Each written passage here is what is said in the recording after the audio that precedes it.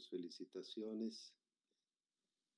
Estoy viendo aquí a Marichela Posadas, a Juana Ávila desde Washington, de Wisconsin, de Xochimilco, Hortensia Serralde, Tetlal Nepantla, Brandon, un saludo muy cariñoso de mi parte, eh, y también a eh, José Antonio Rosas, saludos desde Roma, sí, don José Antonio, gracias eh, por unirte, Teresa Figueroa, a eh, Mauricio Hernández Solís desde San José, Costa Rica.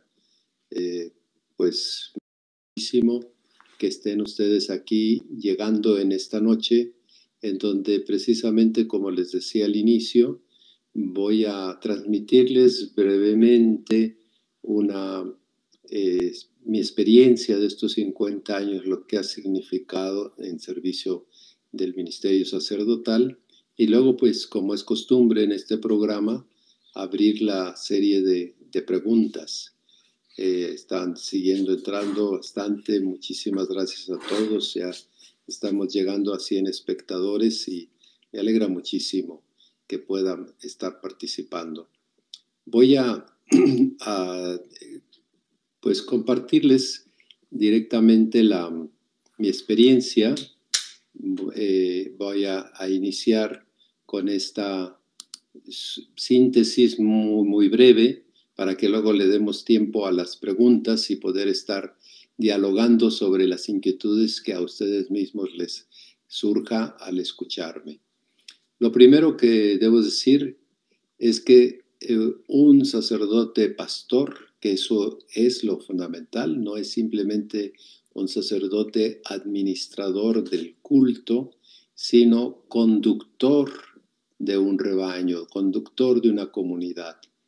Como me tocó precisamente en mi primer año una magnífica experiencia de trabajo pastoral y allí aprendí a ser sacerdote pastor. Un sacerdote pastor en la colonia Nueva Provincia de Tepic Nayarit, allí comencé a estar atento a las necesidades de los fieles y saber discernir en qué ámbitos es conveniente delegar. Yo formé pequeños grupos de, escucha de la palabra de Dios y siempre había uno que dirigía en, cada uno de esos grupos. Y así después, posteriormente, dependiendo de las nuevas circunstancias, el sacerdote pastor tiene que saber elegir para cada tarea y aclarar eh, en qué consiste la responsabilidad, comentárselos eh, claramente a quienes van a ser también colaboradores del sacerdote pastor. Por eso es importante la designación, pero también cuidar con especial dedicación la coordinación de todos los agentes. Es decir, que nadie se nos dispare, que se vaya por su cuenta y ya no se tengan en cuenta estas necesarias interacciones, es necesaria esta coordinación de los agentes, porque así se establece eh, la posibilidad de la experiencia de comunión eclesial. Esta comunión eclesial es fundamental para alcanzar un testimonio atrayente y convincente de la fe, del Dios en que creemos, de la esperanza, de lo que la fe nos ilumina sobre nuestro caminar en esta vida y del ejercicio que tenemos que hacer, que es la vivencia de la caridad. Los invito también a ustedes ahora a recordar o a descubrir, dependiendo de las experiencias de cada uno. Eh, me, me, dicen que vamos a detenernos un poquito, tengan paciencia, hay un pequeño problema a darle continuidad a esta eh, reflexión sobre esta experiencia de 50 años de vida en el ministerio sacerdotal. Les decía, sintéticamente, un sacerdote es pastor, no es solamente administrador de sacramentos, de culto, sino es el conductor de una comunidad y debe dedicar a la coordinación de todos los agentes delegados en las áreas de ese trabajo para que haya comunión eclesial y poder así dar un testimonio atrayente y convincente de la fe, esperanza y caridad. Ahora los invito también a ustedes a descubrir y darle gracias a Dios por todo el progreso y desarrollo que ha realizado la Iglesia, particularmente desde el Concilio Vaticano II, 1962-1965, eh, convocados por su santidad el Papa Juan XXIII y continuado el concilio por el Papa Pablo VI, para descubrir todo el progreso y desarrollo eh, de, que hemos tenido conducidos por ellos, por los papas, por nosotros los obispos en su momento, y con el auxilio indispensable de presbíteros y diáconos. Esta paternal autoridad que conlleva el ministerio sacerdotal, conduciendo en comunión una determinada parroquia territorial o una institución eclesial. Me tocó a mí conducir un buen tiempo al seminario, la formación de otros jóvenes al sacerdocio, o en una responsabilidad específica, es decir, un área de coordinación más amplia, como puede ser un vicario episcopal en un territorio, un vicario episcopal o un decano. Esta paternal autoridad que conlleva el ministerio sacerdotal conduciéndolo así, pues eh, necesita para un desarrollo creciente creer y confiar en la asistencia del Espíritu Santo. Somos los primeros que tenemos que tener una gran confianza en que en mi trabajo no estoy solo, estoy siendo acompañado para asistirme, fortalecerme, orientarme por el Espíritu Santo, claro, en un espíritu de oración habitual del sacerdote. Y esto es asistencia que uno va percibiendo a lo largo de los frutos que se van obteniendo, pues también solicitarle a, este, en la oración que el Espíritu Santo también esté apoyando, asistiendo y orientando a la iglesia, de que llevemos el conocimiento de Jesús hacia Dios, nuestro Padre. En el ejercicio de este ministerio sacerdotal, sin duda alguna, siempre se presentan desafíos. Y esos desafíos a veces parecen imposibles o muy riesgoso resolverlos favorablemente. Hoy han crecido, eh, han aumentado los desafíos en el mundo actual y es muy importante entonces ahí invocar más la ayuda divina a Jesús mediante esta asistencia del Espíritu Santo para saber orientar y acompañar y para resolver o afrontar esos desafíos favorablemente. Para ello, pues es obvio, debemos aprender a orar, a invocar a Dios sin condicionar su respuesta. Nosotros como buenos planeadores a veces que proyectamos, voy a hacer esto para obtener aquello, es, es como una tendencia natural del ser humano. Sin embargo, Dios nos tiene sorpresas que nunca quizá habíamos imaginado, pero entregándole nuestro esfuerzo, nuestro trabajo, Él nos sorprende con, resultados muy distintos a los que uno pensaba que podría haber obtenido. Ejerciendo pues el ministerio sacerdotal, eh, hay que hacerlo siguiendo el primer ejemplo de la iglesia en sus orígenes, la iglesia naciente, los presbíteros desde entonces se empezaron a aceptar vivir el celibato sacerdotal y cómo crecemos en, el gozo de ser célibes, eh, cuál es la satisfacción que, recibimos a través de nuestro ministerio, pues en el afecto y aprecio de nuestros feligreses. Por eso es muy, muy importante para uno como sacerdote que la gente se acerque a uno, que tengamos esa particular deferencia de parte de ustedes. Y en esa experiencia fraterna y solidaria también de los demás presbíteros, nunca nos debemos de considerar un presbítero aislado, en soledad. Eso es tremendo, es, es fatal para muchos sacerdotes. En cambio, quien está en unión con otros presbíteros y recibiendo ese afecto de los feligreses, pues tiene una satisfacción pastoral de manera creciente, tanto en la fecundidad de frutos esperados y aún en la escasez de ellos, ante desafíos que, que nos desbordan eh, y que no hacemos más que un pequeño avance, pero eso colma nuestra afectividad y nuestra capacidad de amar, mirando al bien de los demás por encima del nuestro. Yo creo que eso tiene que aprender siempre un sacerdote, pensar que uno está hecho para los demás y que mi vida tiene sentido cuando me entrego a los demás. Puedo decirlo con grande eh, gratitud a Dios, que así ha sido mi experiencia en estos 50 años de vida ministerial.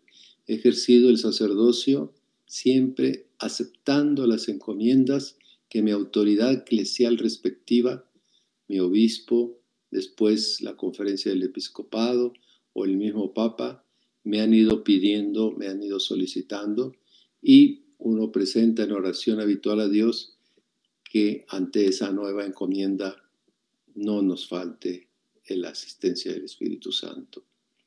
De esta manera yo he vivido desde el inicio de mi ministerio sorpresas de distinta índole que me han llevado por experiencias insospechadas, jamás pensadas, muy exigentes, claro, sí, cada vez son más exigentes.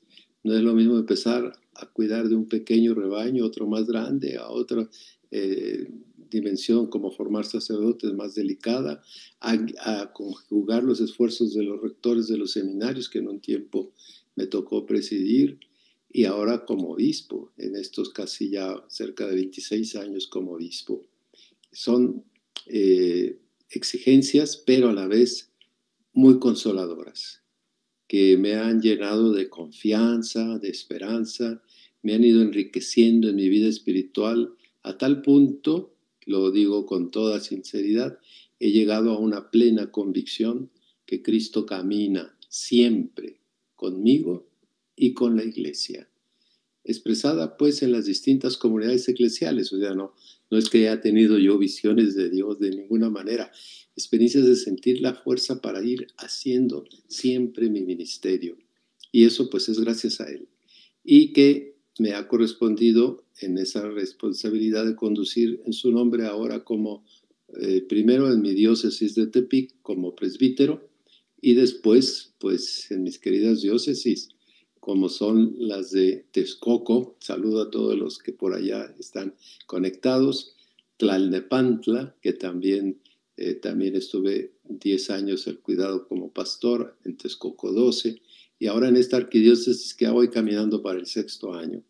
Y a través de estos 50 años, pues a la par me ha tocado servir a la iglesia en América Latina y de auxilio al Santo Padre en comisiones como el diálogo interreligioso para América Latina, la CAL y para también ahora, últimamente, el Papa Francisco me ha pedido que colabore en el Dicasterio de Educación y Cultura. Y lo hago con mucho gusto y además enriquece uno mucho en su visión. Pues esto es más o menos lo que a través de 50 años he vivido. Lo comparto con ustedes con mucha alegría y gratitud a Dios. Y vengan bien toda hora sus preguntas, con mucho gusto eh, las las trataré de ir eh, orientando.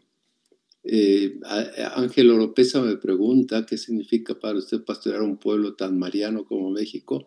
Pues una potencialidad, eh, porque María nos lleva a Jesús y por María podemos crecer mucho. Entonces México es uno de los países más marianos en el mundo. Lo tengo ya muy confirmado en mi experiencia. Me están saludando desde San Cristóbal, Ecatepec, y también de otras partes estoy viendo que se siguen sumando. Y hay alguna que me hace una pregunta muy, eh, que espero Dios que de ninguna manera suceda en mi persona, que si me gustaría ser papa. Yo le trato de ayudar al Papa y sobre todo ahora al Papa Francisco, que nos conocemos de tiempo, pero es una tarea que realmente nadie la desea. Yo creo que nadie la desea. Yo pues, ciertamente no, pero bueno, como lo dije antes, siempre he aceptado lo que se me ha pedido hacer. Eh, pues eh, también había otra pregunta aquí que me dice, eh, por qué los obispos no han llevado la voz con el sínodo alemán. Alemania yo la conozco muy bien, he estado viviendo allá por tanto en mi primera experiencia en Roma en los años 70 como posteriormente en los años 90, aprendiendo esa lengua y, sustituyendo en parroquias. Tiene una situación eclesial muy, muy, muy diversa a la nuestra, no, no es fácil de entenderla. Y yo entiendo perfectamente lo que están viviendo porque ellos ya han vivido una división histórica con Martín Lutero y no creo que lleguen a, a ser un problema grave, que se atendrán a la voz del Papa Francisco. Pero lo discuten todo, siempre son muy distintos a nosotros. Nosotros andamos con rodeos para decir lo que queremos decir, es cultura mexicana o cultura latinoamericana. En cambio, el, el alemán te lo dice directito, sin ningún problema, lo que piensa, lo que ve. Y pues entonces ahí se hace un diálogo eh, muy fuerte, pero, pero son capaces de hacer esa escucha y esas respuestas. Entonces a nosotros nos sorprenden y claro, no sabemos qué decir si no conocemos al pueblo alemán, pero yo creo que, que están haciendo una buena reflexión porque considero que eso los va a llevar a una mayor espiritualidad finalmente, así lo esperamos. Ah, por acá también hay, eh, me dice aquí Nitza Siloyok, que, eh, que, nos, los ayude a una beca, pues me da mucho gusto que, que se haya sido así y puedan ustedes ayudarse para seguirse formando. Eh, ¿Por qué dice aquí la Dios primada perdió ocho vicarias? No, no, no las perdió. Lo que pasa es que siempre tenemos que crecer en, eh, esta cercanía con el pastor, el, obispo diocesano, y entonces, pues eh, Xochimilco tiene una idoneidad y una homogeneidad muy fuerte, Iztapalapa no se diga, y también acá en el norte, Azcapotzalco, y van creciendo con su obispo que está más cerca de ellos, y acá pues nosotros llevamos otra eh, gran carga que todavía nos queda. Somos, seguimos siendo una de las eh, diócesis más grandes en el mundo, no obstante haberse creado estas tres nuevas dioses, yo le agradezco mucho a Dios que, que así sea. Eh, me dicen también, ¿tiene alguna experiencia con el Papa Juan Pablo II? Tengo varias. Tengo, gracias a Dios, me tocó conocer al Papa Pablo VI y con el Papa Juan Pablo II desde estudiante en mi doctorado me recibió con mis papás. Cuando ellos cumplieron sus bodas de oro, nos recibió, los saludamos. Posteriormente, eh, ya siendo yo obispo, pues hice la, eh, la visita a Roma, eh, tuve ocasión de hablar con él y sobre todo cuando más hablamos con él fue cuando yo era vicepresidente del CELAM, estábamos preparando Aparecida y en sus últimos años, pues eh, nos dio el plachet para que se diera la quinta conferencia general del episcopado latinoamericano y también pues eh, al final se acuerdan ustedes que en 2004 se, eh, se, llevó a cabo en Guadalajara el Congreso Internacional de la Eucarístico y el Papa quería venir pero ya no pudo en 2004 y entonces yo era secretario general de la, de la Conferencia Episcopal Mexicana y que junto con el presidente y vicepresidente de entonces nos invitó a comer en septiembre del 2004 y nos dijo eh,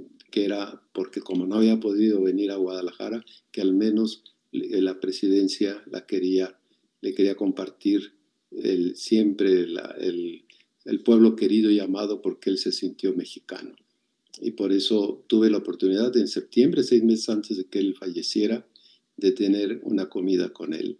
Él ya casi no podía hablar, y nos, pero nosotros teníamos que, que hacer la conversación, así nos lo habían indicado. Son experiencias muy emotivas que me ha tocado vivir y que le doy gracias a Dios.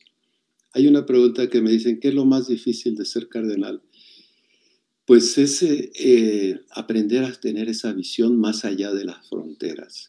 Es decir, el cardenal lo que tiene que hacer es eh, ayudarle al Santo Padre para darle a conocer y al mismo tiempo tener una, uno está con un conocimiento más amplio de la Iglesia Universal. Y luego compartir, como lo, hicimos en agosto pasado, que nos convocó el Papa a todos los cardenales y que hicimos un espléndido trabajo de diálogo, de conversación sobre los desafíos actuales. Entonces, el cardenalato, más que una dignidad, que a veces pues todo el mundo piensa que es una dignidad, es una responsabilidad muy grande, que hay que eh, asumirla así y tratar de, corresponder a quien lo llama, como en este caso me llamó a mí el Papa eh, Francisco. Y bueno, eso es lo más difícil de ser cardenal, que ya no solamente te tienes que preocupar de tu casita, sino también de tus vecinos y de tus vecinos, no solamente de los vecinos de tu colonia, no solamente de la colonia de la ciudad, no solamente de la ciudad, sino de tu país, no solo de tu país, sino del continente, no solamente del continente, sino de los cinco continentes. Así que esa es lo, difícil de, ir aprendiendo. Me preguntan también cómo fue su llamado al sacerdocio y cuáles fueron sus sentimientos al estar ordenando, al estar siendo ordenado sacerdote. Es una experiencia muy grata, uno la espera. Yo entré al seminario a los 11 años. Yo tenía deseos de ser sacerdote desde entonces. Claro, tuve varias crisis a través del largo camino. Siempre tuve la dirección espiritual adecuada y uno se va eh, alentando, va uno eh, encontrando a partir de esa experiencia de formación respuestas y en la oración la confirmación o no de, seguir ese camino. Por eso aprovecho a decirles a, a, a lo mejor aquí dentro de los casi 500 espectadores que estoy viendo que están, pues hay muchos jóvenes o padres de familia, no duden en, en orientar a sus hijos en estas aspiraciones, necesitamos muchas vocaciones. Fíjense que a propósito, este próximo domingo en la Basílica de Guadalupe va a haber una exposición vocacional, una expo vocacional. Eh, sería interesante invitar, los invito a todos ustedes y también a los jóvenes para que vayan y la, eh, la vean y se mueva el corazón porque a veces pensamos en, solo en la vocación consagrada o en la vocación del ministerio, pero todos tenemos una vocación. Es lo que yo he tratado siempre de insistir. Hay que tener esta claridad de que Dios nos ha dado la vida para algo. Tenemos una vocación. Descubrir para qué, ahí está el arte.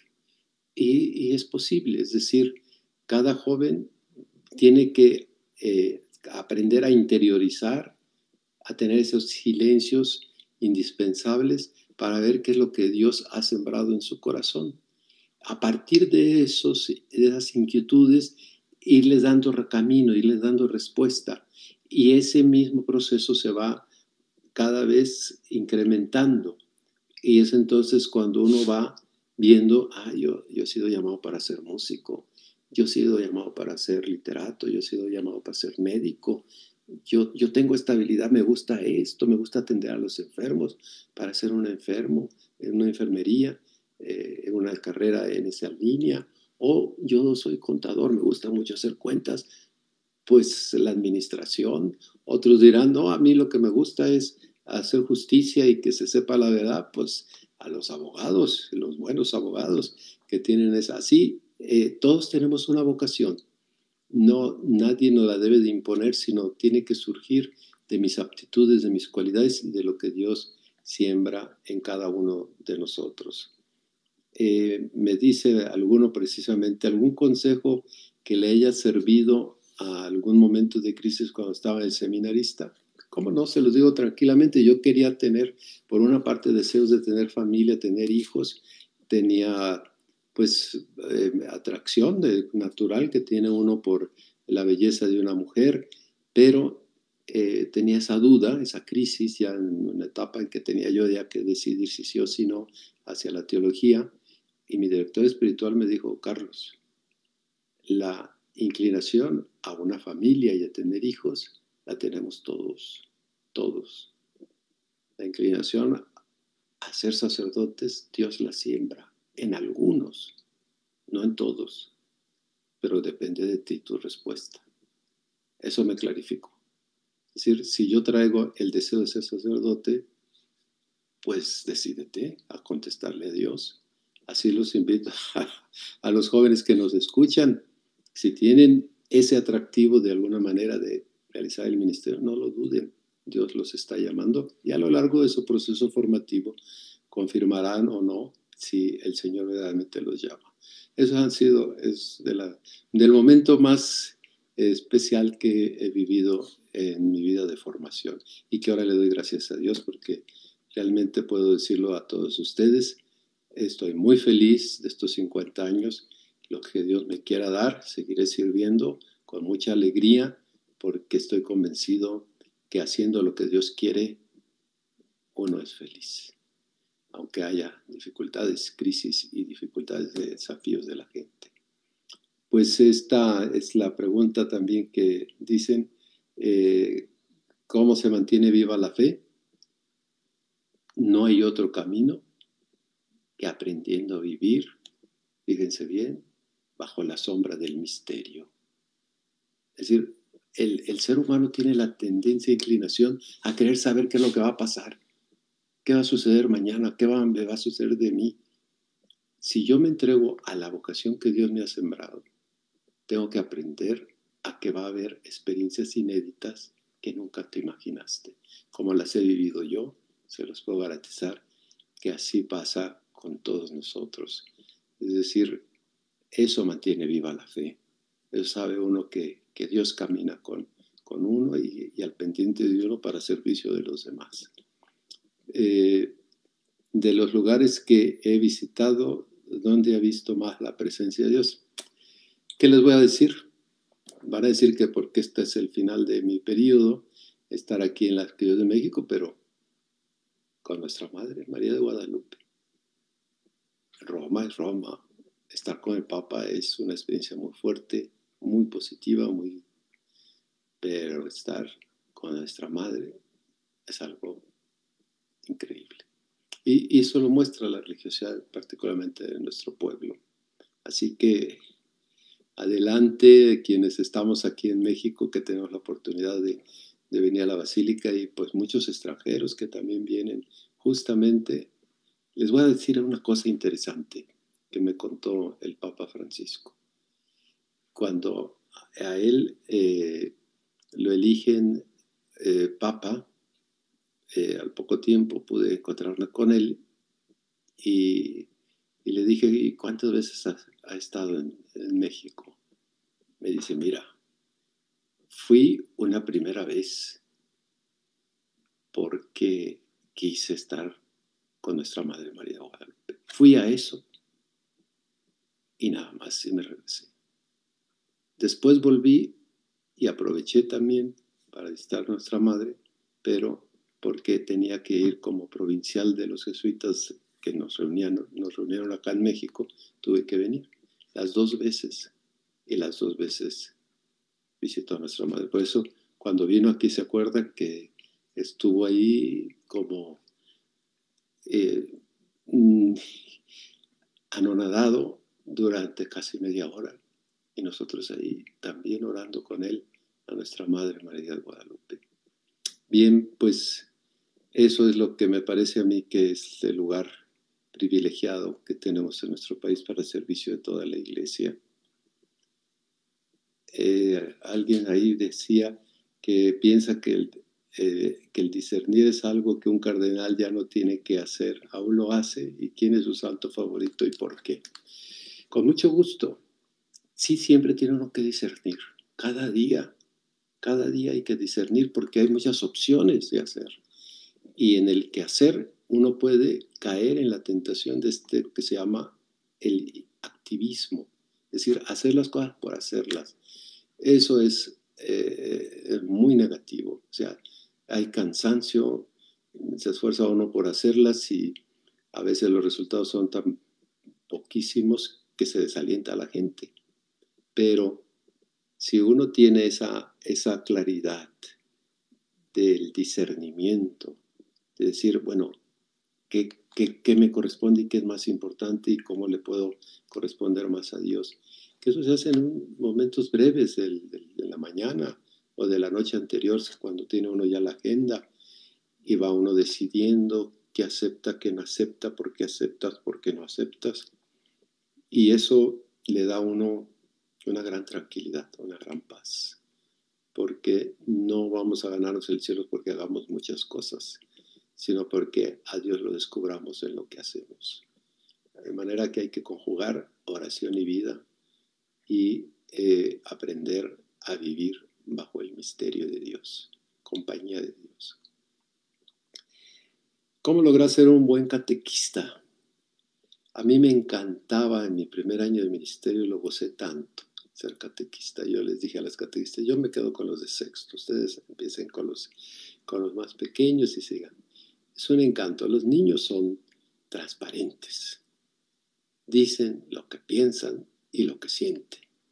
Y en la catequesis hay que aprenderlo. O sea, más que darles tantos conceptos que a veces el indoctrinamiento se lleva todo el tiempo de la relación entre la catequista o el catequista con los niños o niñas, eh, debería de ser esta dinámica más pedagógica de escucharlos y a partir de sus escuchas de lo que les preocupa, de los que ven, de lo que no ven, de lo que, se, que tienen en el cotidiano, día de, de cada jornada, pues darles respuestas desde la fe. Eh, eso yo creo que es muy importante, al menos hacerlo de vez en cuando o en algún momento, una vez que les den algún punto de, de la enseñanza doctrinal.